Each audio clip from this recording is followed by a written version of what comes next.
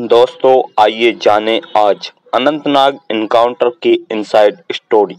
एक तरफ़ जंगल तो दूसरी तरफ़ है खाई। सेना के लिए पहाड़ बना चुनौती। दोस्तों, चैनल अभी तक सब्सक्राइब नहीं किया है तो प्लीज़ चैनल को सब्सक्राइब और बेल आइकन को प्रेस कीजिए। मंगलवार देर रात से जम्मू कश्मीर के अनंतनाग ज़िले में शुरू हुआ इनकाउंटर इसका मुखबिर ही है कश्मीर का गद्दार देश के जवानों का गुनहगार। जी हाँ दोस्तों। के साथ आए हुए आतंकियों के पास गोला उन बिलखते खाने पीने के सामान किसी तरह की कोई कमी नहीं।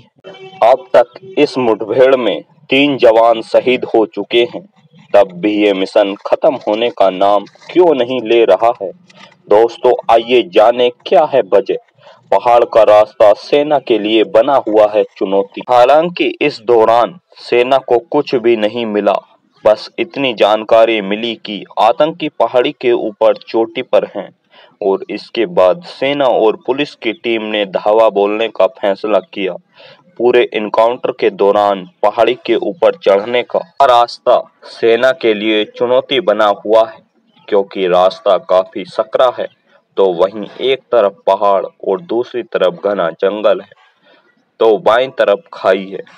सेना ने जब चढ़ाई शुरू की तो सबसे आगे मेजर आशीष और जम्मू कश्मीर पुलिस के डीएसपी हुमायूं भट्ट थे।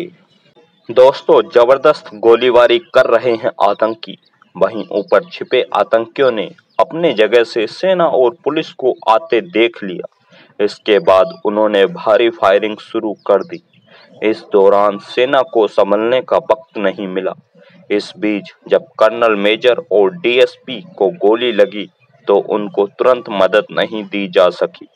भारी गोलीबारी के बीच हेलीकॉप्टर भी नहीं उतारा जा सका।